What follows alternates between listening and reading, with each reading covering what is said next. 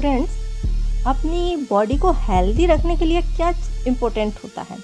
सिर्फ़ दो चीज़ें एक हेल्दी डाइट और दूसरा वर्कआउट यानी कि एक्सरसाइज ये जब भी आप आ, कोई प्रॉब्लम होती है तो डॉक्टर आपको हमेशा सजेस्ट करते हैं कि अच्छा हेल्दी खाना खाएँ फाइबर वाला फ़ूड खाएँ और अच्छा सा एक्सरसाइज करें जो आपकी बॉडी को हेल्दी रखने के लिए काफ़ी कारगर होता है।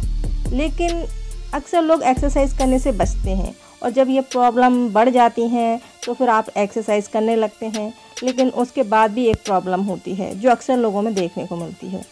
वो होती है एक्सरसाइज के बाद पेट दर्द की शिकायत होना।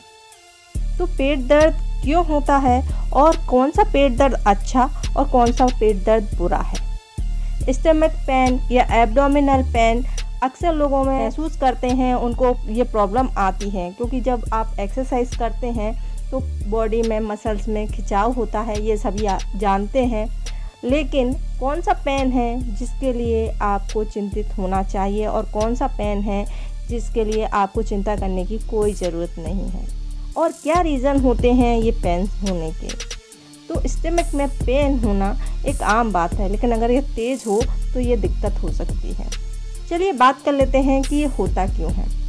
सबसे पहला रीज़न होता है एसिड रिफ्लेक्शन या हार्ट बर्न।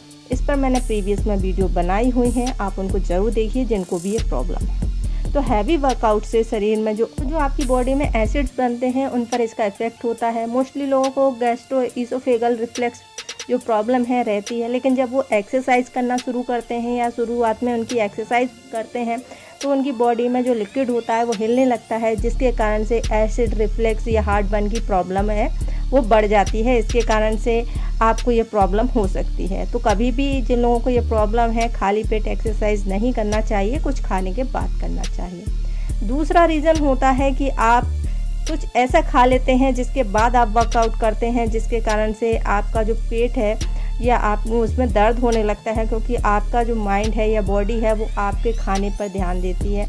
और जिसके कारण से आपके पेट में जो खाना होता है, जिससे आपको भारीपन या सूजन का कारण बन सकता है। तो ये बहुत सारी चीज़ों पर डिपेंड करता है कि आप एक्सरसाइज के पहले क्या खा रहे हैं।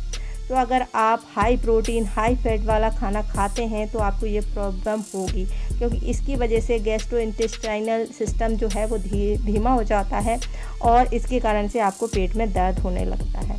तो जो लोग भी हैवी एक्सरसाइज करते हैं या मैराथन की प्रैक्टिस कर रहे हैं, उनको ये प्रॉब्लम हो सकती है। नेक्स्ट रीज़न होता है क्लाइमेट या मौसम की स्थिति। तो पेट दर्द का एक रीज़न ये भी होता है क्योंकि आप जिस भी जिम में जाते हैं, वहाँ एयर कंडीशन होता है या सर्दी जुकाम अगर आपको है या ठंड की स्थिति, सर्दी के सीज़न में एक्सरसाइज करना शुरू करते हैं तो भी आपका जो ब्लड सर्कुलेशन है, वो उतना अच्छे से नहीं हो पाता है, जो क्योंकि मसल्स जो है, श्रिंक होती है, जिसके कारण से आपको ये पेन होता है।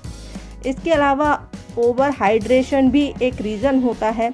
इसीलिए आप जब भी एक्सरसाइज करते हैं तो आपका ट्रेनर जो होता है वो कहता है कि एक्सरसाइज के बीच में आपको पानी नहीं पीना है। वर्कआउट में पानी पीने की सलाह कोई भी अच्छा ट्रेनर होता है वो नहीं देता है क्योंकि इसके कारण से आपको पेट दर्द की समस्या जो है वो बढ़ जाती है। नेक्स्ट होता है डिहाइड्रेशन डिहाइड्रेशन के कारण से भी आपको ब्लोटिंग की समस्या हो जाती है।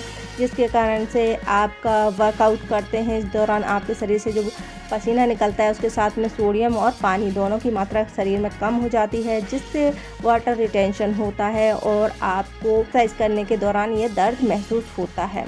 तो हमेशा एक्सरसाइज एयर कंडीशन कमरे में करें जहाँ अच्छे से हवा आ जा सके और कपड़ों का भी अच्छे से ध्यान रखें लूज़ कपड़े पहनें।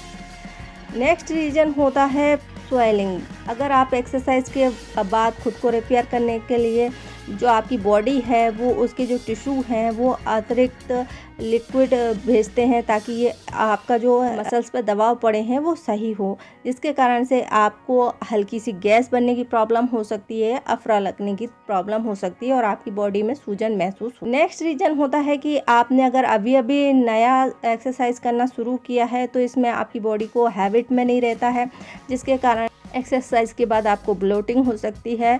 इसके कारण से आपके बॉडी में जो कार्टिशोल हार्मोन है या स्ट्रेस हार्मोन है वो रिलीज़ होते हैं और ये आपके लिक्विड को प्रभावित करते हैं जिससे वाटर रिटेंशन की प्रॉब्लम होती है। क्योंकि हमारा जो शरीर है नया नया अभी फिटनेस रूटीन में आया है तो उसको थोड़ा टाइम चाहिए इस चीज़ को एक्सेप्ट करने के लिए। तो ये कुछ रीज़न होते हैं। लेकिन अगर इनके अलावा भी आपको जो दर्द है, वो लगातार बना रहता है एक्सरसाइज के बाद भी, आराम करने के बाद भी, और जो दर्द है, बहुत तेज़ होता है तो ये इंडिकेट करता है कि आपने जो हैवी एक्सरसाइज की है, उससे आपकी बॉडी में कहीं ना कहीं डैमेज हुआ है तो आपको ट्रीटमेंट लेने की ज़रूरत है।